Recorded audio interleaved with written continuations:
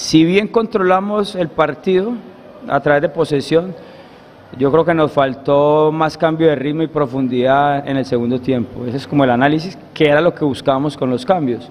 Rematar eh, el partido con hombres frescos y que Millonarios sintiera aún más ese hombre de menos. Y creo que nos costó por el remate del juego.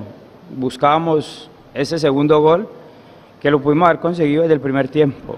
Sí, contento, eh, más que todo darle gracias a Dios por marcar mi primer gol como profesional eh, y a seguir, a seguir aprovechando los minutos que nos den y la confianza que nos dé el profe.